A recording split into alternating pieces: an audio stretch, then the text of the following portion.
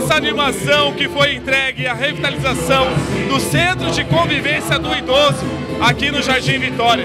Uma grande festa, um baile de carnaval que reuniu muitas pessoas com samba no pé e muita alegria.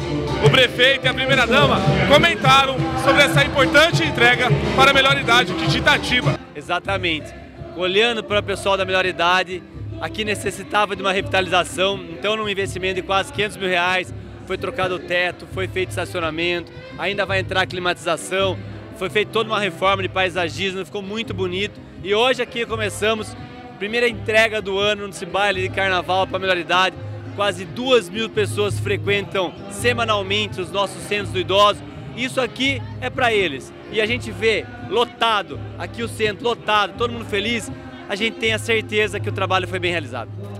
Com certeza é uma alegria enorme entregar, voltar para casa, é, depois de um ano, um pouco mais de reforma uh, que foi feito aqui no Centro do Idoso. A gente pensou na...